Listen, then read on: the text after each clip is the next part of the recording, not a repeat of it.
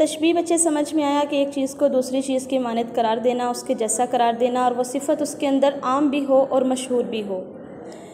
आगे हम पढ़ते हैं अरकान तशबी यानी तशबी की किस्में या तशबी के अरकान। तशबी के पाँच अरकान हैं। नंबर एक मुशबा नंबर दो मुशबा बे। नंबर तीन वज शबा। नंबर चार, गर्ज़ शबा। और नंबर पाँच, हरफ शबा। नंबर एक मुशबा यानी जिस चीज़ को दूसरी चीज़ के साथ उसकी मानद करार दिया जाए, उसके जैसा करार दिया जाए, जिस चीज़ को, उसको मुशबा कहा जाता है। जैसा कि ऊपर आपने पढ़ा कि दुल्हन चाँद की तरह खूबसूरत है तो दुल्हन इस फ़िक्रे के अंदर, इस जुमले के अंदर मुशबा है। इसी तरह असलम शेर की तरह बहादुर है तो असलम क्या है? मुशबा है। जिस चीज़ को हम दूसरी चीज़ की मानद करार देते हैं, उस जैसा करार देते हैं, वो मुशबा कहलाता है। मुशबा बे वो चीज़ जिसके साथ किसी दूसरी चीज़ को तशबी दी जाए, जैसे दुल्हन को चाँद से तशबी दी गई तो चाँद मुशबा बे हो गया। असलम को शेर से तशबी दी गई तो शेर मुशबा बे हो गया।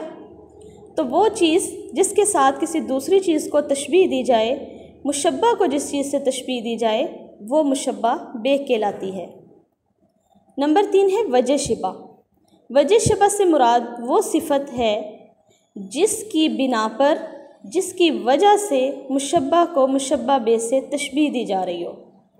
मिसाल के तौर पर, चाँद की मानद खूबसूरत में क्या है? वजह शिवा खूबसूरती है। क्यों? दुल्हन को चाँद से तशबी दी गई, क्योंकि चाँद भी खूबसूरत है, दुल्हन भी खूबसूरत है।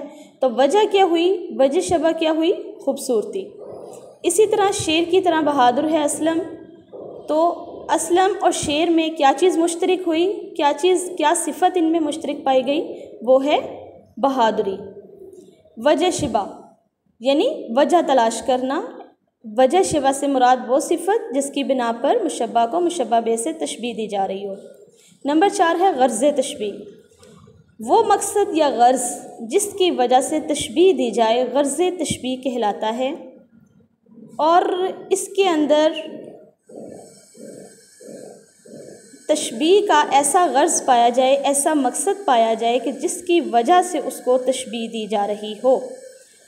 मसलन दुल्हन के हुसन को वाजे करने के लिए, उसकी खूबसूरती को वाजे करने के लिए उसको तशबी दी जा रही है, असलम की बहादरी को वाजे करने के लिए और उनकी सिफ़ात को बढ़ा चढ़ा कर बयान किया जाए, वो गर्ज़ तशबी कहलाता है।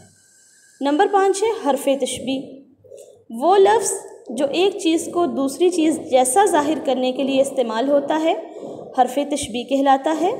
मसलन ऊपर के जुमलों में मानद और तरह।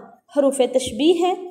इसके अलावा और भी कई हरूफ तशबी हैं, जैसा कि मिसल हु बहू सूरत, गोया, जूँ, सा, सी, से, जैसा, जैसी, जैसे भी, यानी ही मिसाल या कि ये। मतलब जो लफ्ज़ हम इस्तेमाल करते हैं कि दुल्हन चाँद जैसी है, दुल्हन चाँद की मानद है, दुल्हन चाँद की तरह है, दुल्हन हु बहू चाँद जैसी है, जो हम लफ्ज़ इस्तेमाल करते हैं एक चीज़ को दूसरी चीज़ से तशबी देने के लिए तो दरमियान में जो हर्फ इस्तेमाल होता है, उसको हरफ तशबी कहा जाता है।